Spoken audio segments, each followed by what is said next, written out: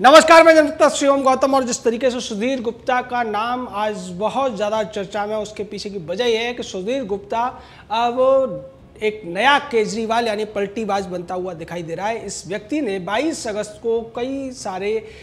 बातें कही थी और उनमें एक बड़ी बात यह थी कि सुशांत सिंह राजपूत की मौत के बाद जो ऑटोपसी यानी पोस्टमार्टम हुआ है, उसमें बहुत सारा लोचा है, बहुत सारा घपला है, तमाम चीज़ें छुपाई गई हैं और गलत तरीके से पोस्टमार्टम करके इस पूरे मामले को दबाने की कोशिश की गई है। यहाँ पर वीडियोग्राफी नहीं है। बिस्रा की बहुत ज़्यादा ठीक लेवल का सैंपल नहीं लिया गया है। बिस्रा का जो सैंपल लिया गया था, वो बहुत थोड़ा था, इसके आधार पर इतनी जल्दी निर्णय नहीं लिया जा सकता है। ऐसी बातें कही थी डॉक्टर सुधीर गुप्ता ने, जो कि एम्स के उस पैनल का हेड था, जिसने सुशांत सिंह राजपूत के फॉरेंसिक रिपोर्ट और बिस्रा की दोबारा से जाँच की थी। लेकिन बाद में सुधीर गुप्ता ने एक बड़ी पलटी खाई और उसने कुछ चैनलों के साथ मिलकर इस तरीके की बात उठाने की कोशिश की कि सुशांत सिंह राजपूत की हत्या नहीं हुई थी, बल्कि आत्महत्या की थी। हालाँकि उसने स्पष्ट तौर पर आत्महत्या का शब्द इस्तेमाल नहीं किया था, लेकिन यह कहा था कि बॉडी के ऊपर कोई भी चोट का निशान नहीं है और उनकी जो मौत है वो गला घुटने से यानी लटकने से हुई है, लेकिन उसको लेकर पहले ही सवाल उठाए जा चुके थे कि सुशांत सिंह राजपूत की जितनी लंबाई थी, उसके अलावा पंखा जितना नीचे था, उस छत से उन दोनों के बीच में इतना ज़्यादा गैप नहीं था कि सुशांत सिंह राजपूत जैसा लंबा व्यक्ति लटक कर खुद को अपने आप को मौत के गले लगा लेगा। लेकिन जिस तरीके से दूसरी कहानी इसमें थी, जिसको लेकर तमाम लोग सवाल उठा रहे थे कि अगर उन्हें नशा दिया गया होगा उससे पहले सीबीडी ऑयल या इसी तरीके का कोई नशा देने के बाद उन्हें अगर इस तरीके से लटका दिया गया होगा तो ज़रूर उनकी इस तरीके से मौत हो सकती है। और सीबीआई भी इसी एंगल से जाँच करती हुई दिख रही है कि इसमें किसी तरीके के हथियार की आशंका नहीं है। अगर मौत हुई है तो उसके पीछे गला दबाकर, गला दबाने का इनकार किया जा रहा है तो यानी कि रस्सी से उनको लटका कर उनको मौत के घाट उतारा गया। लेकिन जिस तरीके से सुधीर गुप्ता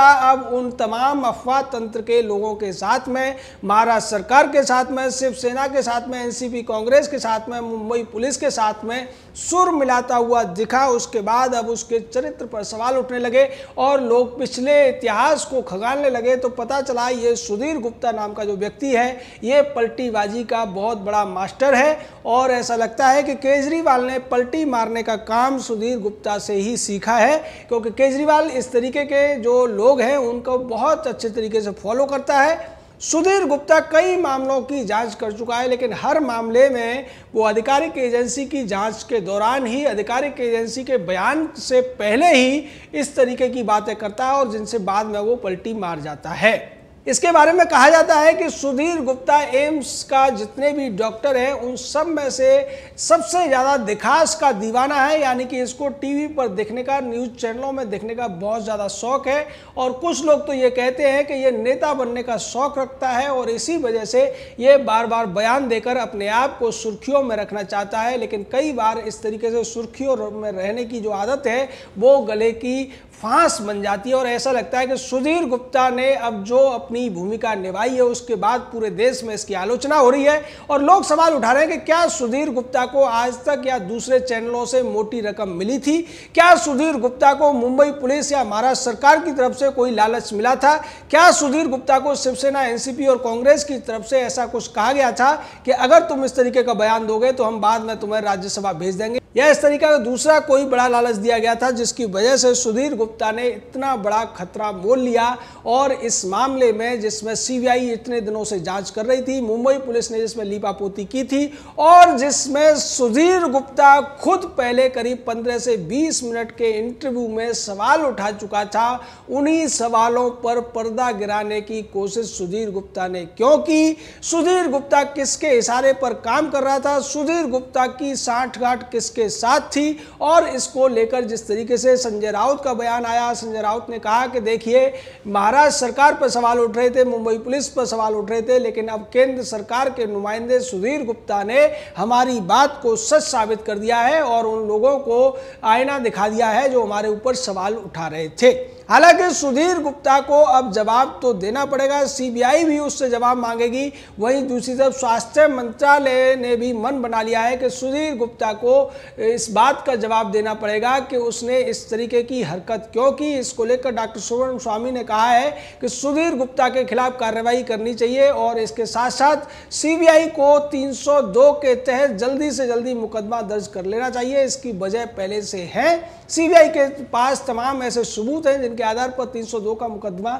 दायर किया जा सकता है। और यहाँ अगर कानूनी कानूनी दृष्टि से मैं आपको बताऊँ तो इस मामले में जो एम्स की रिपोर्ट है, उसका बहुत ज़्यादा कोई मायना नहीं है। वो सिर्फ़ और सिर्फ़ राय देने के लिए इंडिकेशन के लिए थी, क्योंकि मेन पोस्टमार्टम रिपोर्ट तो कूपर अस्पताल को देनी थी, लेकिन उसने जिस तरीके की घपलेबाजी उसमें की है, तमाम जो सवाल उस पर उठे हैं, वो इस बात के सबूत हैं कि वहाँ पर मुंबई पुलिस के स्तर पर इस पूरे मामले में जिस तरीके की लिपापोती की गई है, जिस तरीके के सबूतों के साथ छेड़छाड़ की गई है, जिसका इशारा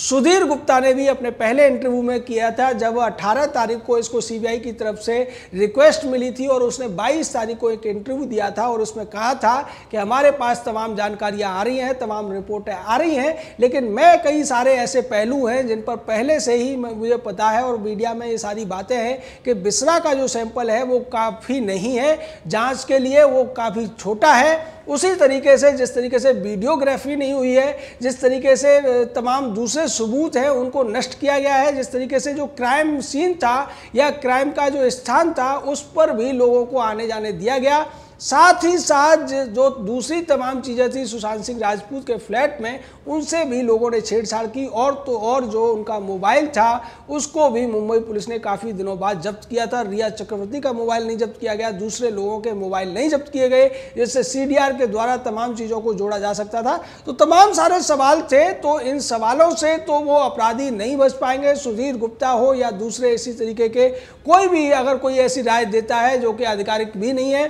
लेकिन अब सुधीर गुप्ता को ये जो पलटीबाजी है, बहुत महँगी पड़ने वाली है। स्वास्थ्य मंत्रालय उसके खिलाफ कार्रवाई करने वाला है और आज वो देश के लोगों की नज़रों में एक नायक की बजाय खलनायक बन चुका है। कहा यह जाता है कि सुधीर गुप्ता फॉरेंसिक डिपार्टमेंट का हेड होने की वजह से इसने कई सारे हाई प्रोफ़ाइल मामलों में फॉरेंसिक जाँच की है, जिनमें सुनंदा पुष्कर का भी मामला शामिल है और भी दूसरे जैसिका लाल जैसे मामले शामिल हैं। लेकिन इस तरीके की बातें करके कोई भी व्यक्ति अपने आप को अगर ये चाहता है कि वो चर्चा में रहकर अपने ये जो महत्वाकांक्षा है, उसको पूरा कर लेगा। इस महत्वाकांक्षा का जो एक भार होता है, वो व्यक्ति को कभी कभी खलनायक बना देता है। वही स्थिति अब सुधीर गुप्ता की होती हुई दिख रही है। लेकिन इसके साथ साथ वो सारे तमाम चैनल भी इस पूरे मामले में एक्सपोज हो गए हैं, जो टुकड़े टुकड़े गैंग या फिर इस तरीके के अपराधी गैंग को बचाने की कोशिश कर रहे थे। पहले इस कड़ी में आज तक था एनडीटीवी था, लेकिन अब इस कड़ी में जी न्यूज़ भी जुड़ता हुआ दिखाई दे रहा है। जी न्यूज़ ये कहता हुआ दिखाई दे रहा है कि जिन लोगों ने सुशांत सिंह राजपूत की मौत को हत्या बताने की कोशिश की थी, वो मनोहर कहानियाँ सुना रहे थे और सुधीर गुप्ता ने ये साफ़ कर दिया है कि ये हत्या नहीं, आत्महत्या थी, जबकि सुधीर गुप्ता ने क्लियर कट ऐसा नहीं बोला था। उसने ये कहा था कि सुशांत सिंह राजपूत की जो मौत है, वो लटकने से हुई है, फंदा कसने से हुई है और इस केस में जैसा कि हमने पहले भी बताया कि यहाँ पर सुशांत सिंह की जो लंबाई है, वो मायने रखती है और उस छत की और पंखे के बीच की जो दूरी है, वो मायने रखती है। उस स्थिति में उन सारे तथ्यों को भी सीबीआई खंगाल रही है और यही वजह है कि सीबीआई इस मामले में कल्पेबल होमिसाइड का केस दर्ज कर रही है। होमिसाइड का केस दर्ज होने से ये मामला 302 और 320 में जा सकता है। वही दूसरी तरफ़ अभी तक इस मामले में 306 लगी हुई थी, जिसमें अवेटमेंट टू सुसाइड था। और ये सारे के सारे लोग ये चाहते हैं कि इसमें अवेटमेंट टू सुसाइड तक ही केस रहे, क्योंकि उससे ज़्यादा बड़ी धारा लगने पर जो तमाम लोग अब तक आराम से घूम रहे हैं, उनको बहुत जल्दी जेल में डाल दिया जाएगा। लेकिन इतना निश्चित है कि इतनी आसानी से इन लोगों के मंसूबे पूरे वाले होने वाले नहीं हैं। चाहे इसमें आज तक जैसे चैनल खड़े हो एनडीटीवी या जी न्यूज़ भी उनका साथ देने लगे, उसके बावजूद सीबीआई के पास अभी तक जो जानकारियाँ आई हैं, तमाम गवाहों के जो सबूत है, सिद्धार्थ पिटानी से लेकर नीरज सिंह जैसे लोग जो सरकारी गवाह बनने की तैयारी कर रहे हैं, उसके अलावा रिया चक्रवर्ती का जो नशे का कनेक्शन है, वो सारी चीज़ें मिलाकर इस केस में अभी भी हत्या के एंगल को ज़िंदा रखे हुए हैं और इसका इशारा, इस करण भंडारी जिन्होंने याचिका लगाई थी, वो भी कर रहे हैं कि मेरी भी बात हुई थी सुधीर गुप्ता से और डॉक्टर सुब्रम स्वामी कह चुके हैं कि वो इस बारे को, इस बात को लेकर स्वास्थ्य मंत्रालय की स्टैंडिंग कमेटी में भी उठा चुके हैं, जिसके वो सदस्य हैं, राज्यसभा का सदस्य होने की वजह से और उन्होंने जिस तरीके से 302 का केस दर्ज करने की तरफ़ सीबीआई को एक इशारा दिया है, उससे साफ़ पता चलता है कि सीबीआई इसकी तैयारी कर रही है। तो तमाम कोशिशें। अब इसमें सवाल यह है कि सुधीर गुप्ता को कितनी बड़ी रिश्वत दी गई होगी, जिसकी वजह से उसने इतना बड़ा काम किया, जिसकी वजह से जो जिन चैनलों की टीआरपी एकदम डाउन हो गई थी, उनकी टीआरपी को उठाने के लिए उसने एक ऐसी खबर पास की, एक ऐसा सगुफा छोड़ा, एक ऐसी अफवाह फैलाई, जिसकी वजह से ये सारे के सारे चैनल एक दिन के लिए टीआरपी में वापस आ गए थे, लेकिन जैसे ही अगले दिन सुधीर गुप्ता के उस पुराने ऑडियो टेप को रिलीज़ किया, रिपब्लिक चैनल ने इन सब चैनलों की पोल खुल गई और पता चल गया कि सुधीर गुप्ता पैसे लेकर इस तरीके की अफवाहपूर्ण बातें करता है। अब उसके चरित्र पर सवाल उठने लगे हैं और लोग ये कहने लगे हैं कि ये तो केजरीवाल से भी बड़ा पलटीबाज है। जय हिंद, जय भारत।